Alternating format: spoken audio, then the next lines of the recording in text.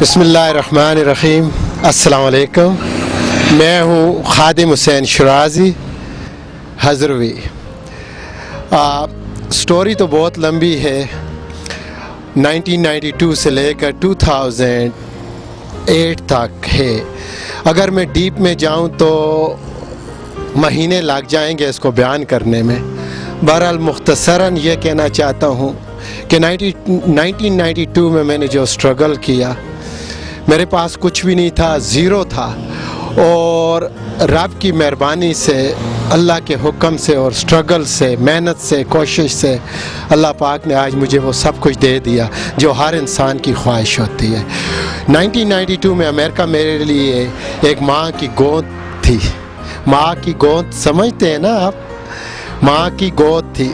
اور آج امریکہ میرے لیے ایک سکنجا بن گیا ہے۔ ایک زبردست جال بن گیا ہے، سکنجا بن گیا ہے، جس کے لیے میں نکلنا چاہتا ہوں۔ اور نکل نہیں پا رہا۔ میں اپنے وطن پاکستان آنا چاہتا ہوں۔ وہاں آ کے اپنے ملک میں، اپنے لوگوں میں رہنا چاہتا ہوں۔ مجھے آپ لوگوں کی دعاؤں اللہ نائنٹی ٹو سے آج تک محنت کی اور رب نے صلاح دیا۔ دینے والا وہ ہے۔ ہم صرف محنت کرتے ہیں، کوشش کرتے ہیں۔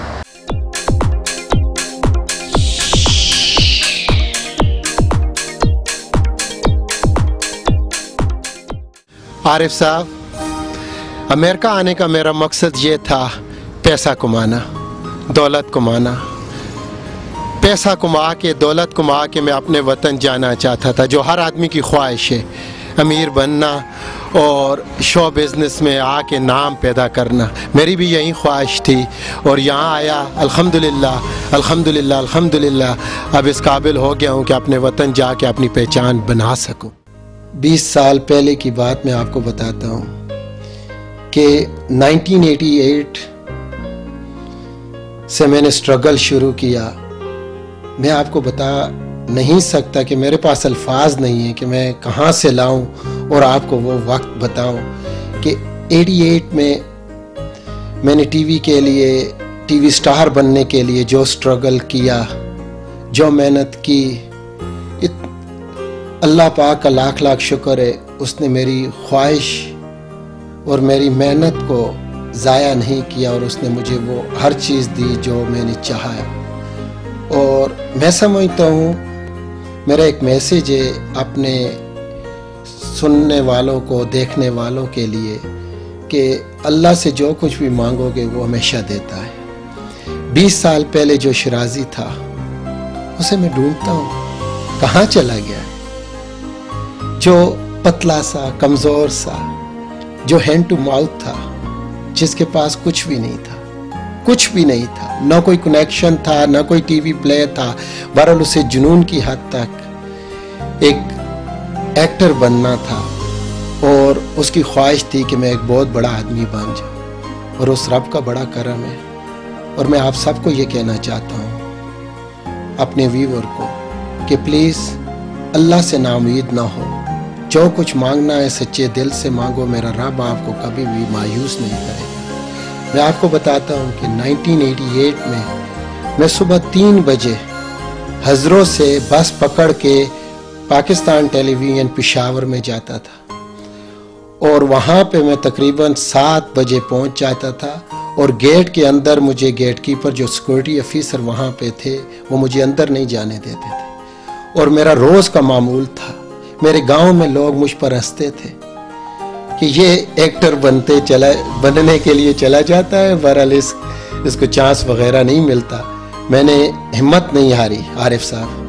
میں لگا رہا اپنی لگن میں، کوشش میں، اور میرے رب نے مجھے ایک دن کرشمہ دکھا دیا۔ کیا دیکھتا ہوں؟ کہ فرت اللہ قریشی صاحب آتے ہیں، گاڑی ٹی وی اسٹیشن کے پاس کھڑی کرتے ہیں۔ فرت اللہ قریشی صاحب کون ہے؟ فرت اللہ قریشی صاحب وہ شخصیت ہیں جن کے نام سے ہر آدمی واقف ہے۔ میری آنکھوں میں اس وقت آنسو سے آ گئے ہیں کہ فرت اللہ قریشی صاحب اب اس دنیا میں نہیں رہے۔ ابھی پچھلے دو ماہ پہلے کی بات ہے۔ میں یہاں یونائٹڈ اسٹیٹ میں جیسی ٹی وی آن کیا نیوز سننے کے لیے تو وہاں پہ نیچے سٹرپ چل رہی تھی کہ پاکستان ٹیلی ویژن پشاور کے نامور ڈائریکٹر فرت اللہ قریشی صاحب ہم لوگوں میں نہیں رہے، ان کی ڈیتھ ہو گئی۔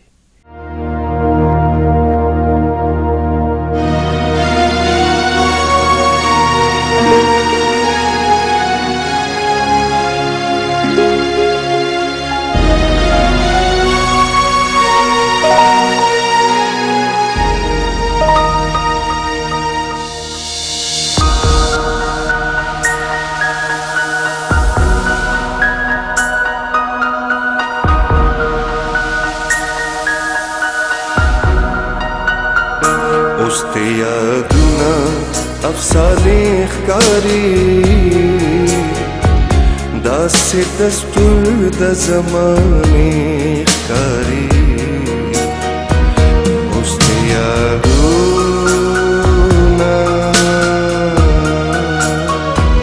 اوس د یادونه افسانې ښکاری دستور د زمانې کاری۔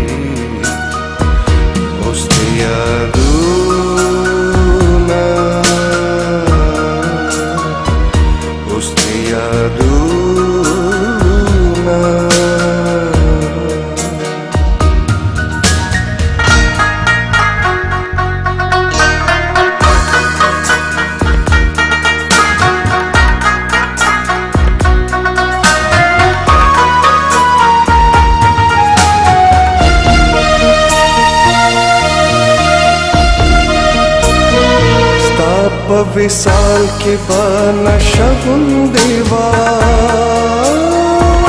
هر دم د هیرو عجیبه غوندې وه ګړی ګړی یوه لازه غوندې وه اوس ستا خبرې بهانې ښکاري داسې دستور د زمانې You.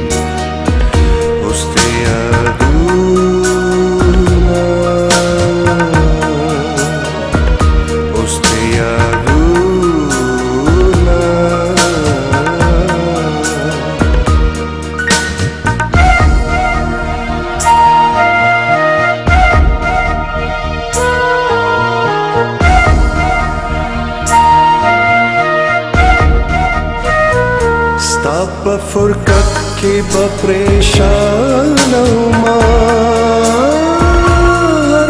پورک لخ لزان او ما خرات یاد شي سرګردان او ما مستقت ته نه خانه ښکاری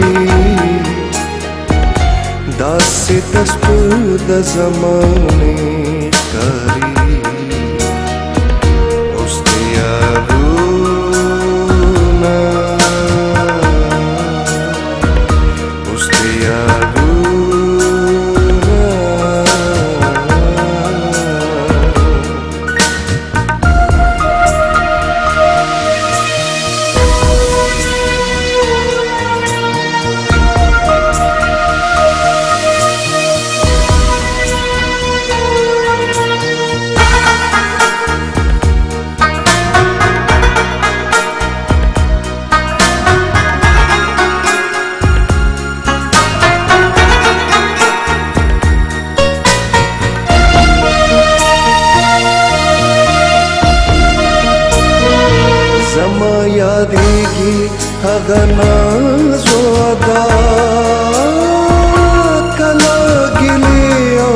کلا هسي پخلا